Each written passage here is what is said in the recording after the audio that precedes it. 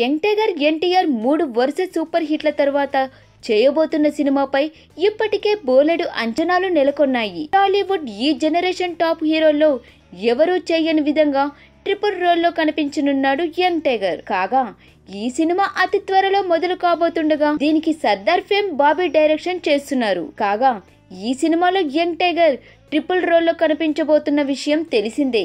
కాగా ఈ triple roles ఇప్పటి వరకు ఎన్టీఆర్ చేయని విధంగా సరికొత్తగా ఉండబోతున్నట్లు టాక్ వినిపిస్తుంది. కాగా ఈ సినిమాలో మూడు డిఫరెంట్ రోల్స్ చేయనున్న ఎన్టీఆర్ ప్రతి రోల్కి ఓ వేరియేషన్ చూపిస్తాడట.